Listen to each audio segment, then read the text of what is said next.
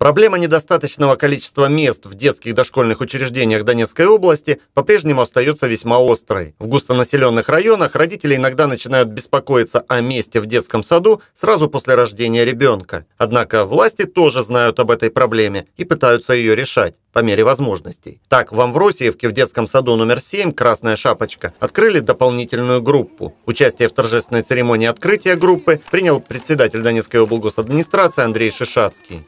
Есть встречи разные у меня. Есть встречи, от которых ну, действительно устаешь, есть какая-то энергетическая такая потеря, усталость. А есть вот такие прекрасные встречи.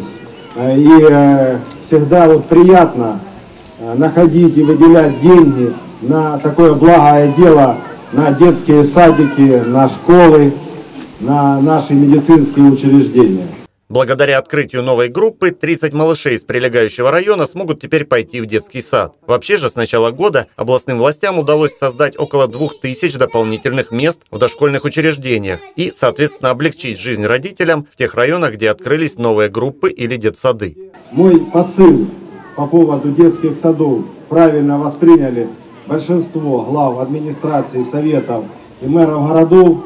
И сегодня просто как из роза, рога изобилия появляются новые группы, новые детские сады, открываются закрытые детские сады или перепрофилированы под какие-то офисы или вообще под какие-то непонятные учреждения. Губернатор пообещал в основном решить проблему нехватки мест в детских садиках до конца этого года, хотя в части городов и районов времени на полное решение вопроса все же понадобится больше. До конца года проблема по очередям будет решена. Говорю практически, потому что все равно есть еще вопросы, будут переходящие, возможно, объекты или группы.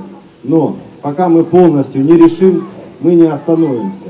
Во время поездки в Мавросиевку Андрей Шишацкий также принял участие в торжественной церемонии вручения трех школьных автобусов учебным заведениям района. С появлением этих машин практически будет закрыт вопрос о подвозе школьников к месту учебы. Полностью все перевозки детей от школы э, домой и из домов в школу в Амбросевском районе осуществляются коммунальными автобусами, то есть школьными автобусами.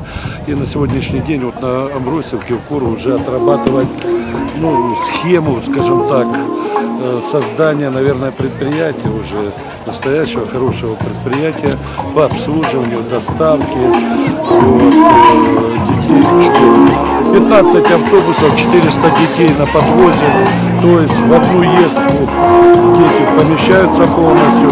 И сегодня мы можем полностью говорить, что задача обеспечения подвоза транспортом коммунальной собственности своим, а не наемным, вопросе решена.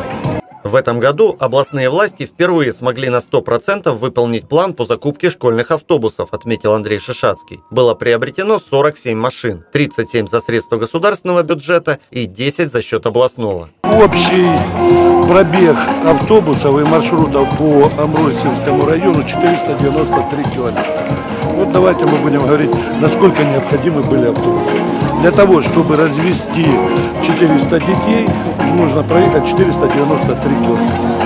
Впрочем, в некоторых районах, таких как Амвросиевский, уже стоит проблема обновления парка школьных автобусов. Сегодня уже задача обновления парка. Самый старый автобус 8 лет, свой коммунальный автобус. В следующем году областные власти планируют полностью решить проблему подвоза детей к учебным заведениям на современных безопасных автобусах, отметил Андрей Шишацкий. Сергей Болдырев, Первый муниципальный.